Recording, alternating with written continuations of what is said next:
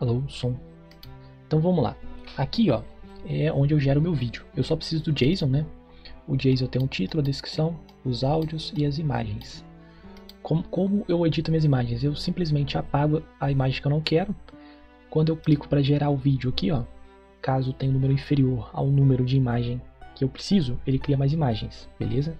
Então basta apagar. O áudio é a mesma coisa. Se eu apagar o áudio aqui, ó, ele gera o áudio de novo, consequentemente gera a legenda, beleza?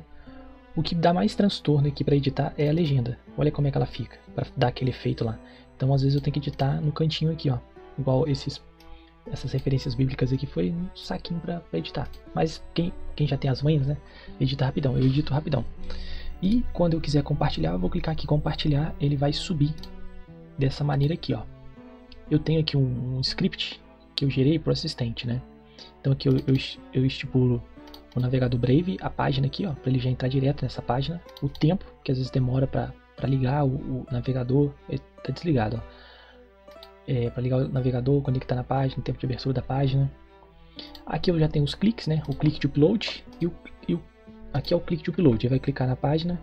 Aqui tem um clique para abrir a pasta de vídeo. Aqui é o clique da primeira pasta da pasta de vídeo, né?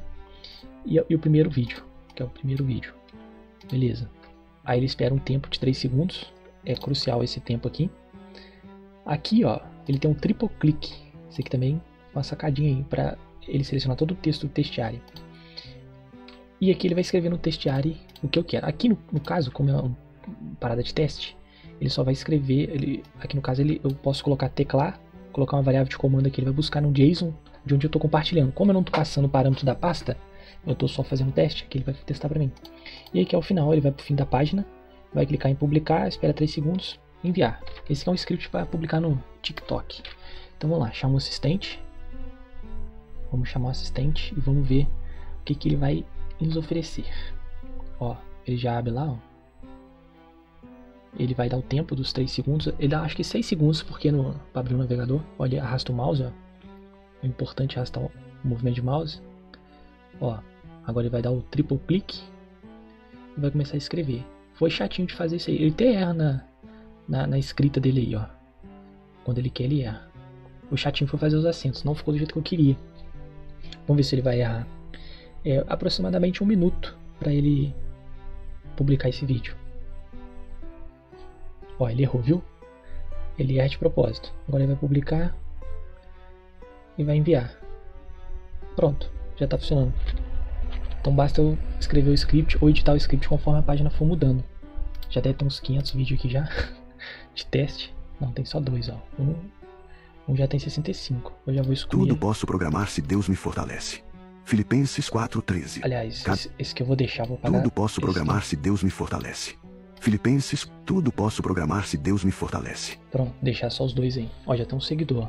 Deve ser eu mesmo. ah não, ó. Já tem um camarada aqui, ó. Esse vídeo eu publiquei agora. Já tá subindo aí. Então é isso aí, viu como é que ficou legal? Agora é fazer para as outras redes. É... Basta eu escrever os scripts, né? Pegar o... Aqui eu gravo o clique, né? Onde eu clico, ele vai pegando o clique para mim. Aqui eu já posso finalizar. Finalizei, né? Aliás, ele não fechou aqui, mas eu tenho como eu eu continuar publicando. A ideia é publicar numa rede, clica em outra, publica em outra e vai assim, entendeu? Por exemplo, se uma rede falhar, aparentemente não vai ter como eu saber. Só se eu pegar o link do vídeo e, e tipo, eu tenho que ficar verificando, né? Mas a ideia é o que? Ele abrir de novo o navegador e fazer todo o processo para as outras redes. São quatro redes. É isso aí, vamos ver se o vídeo pelo menos ficou bom. Valeu!